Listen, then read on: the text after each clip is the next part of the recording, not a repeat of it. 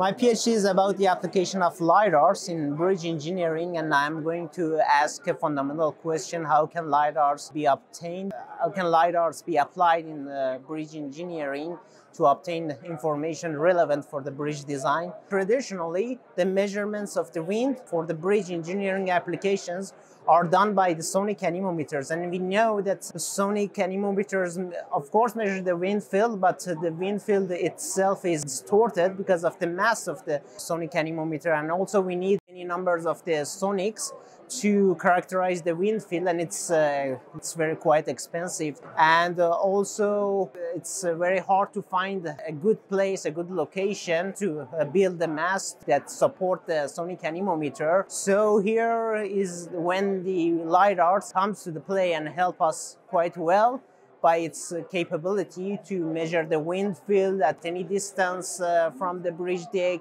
and in any scanning pattern. Uh, we are very thankful of the LiDARs to giving us this opportunity to characterize the wind.